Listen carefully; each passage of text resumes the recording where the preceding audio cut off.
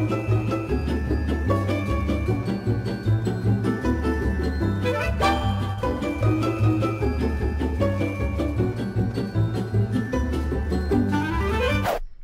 up guys, Xyrecify Gaming here, and today I have a tutorial for you guys.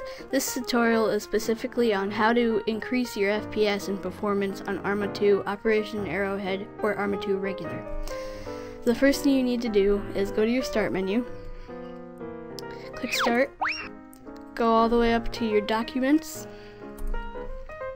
and then once you're in your documents, you want to click Arma 2 and depending on which game you are doing, Arma 2 or Arma 2 Operation Arrowhead, you can do that for, but for this demonstration I will just do Arma 2 Operation Arrowhead. So just click it, it'll be a notepad file.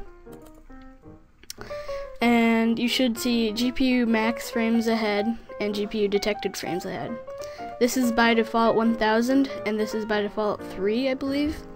So you want to both change it to 1.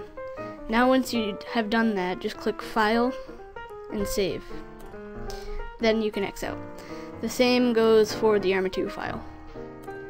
Other than that, that is the only thing that you need to do and you will see a slight FPS boost. If you don't, leave a comment below and telling me what's wrong and I might be able to find another way. So other than that, I hope you guys have enjoyed this video. Leave a like rating below and I'll see you guys later.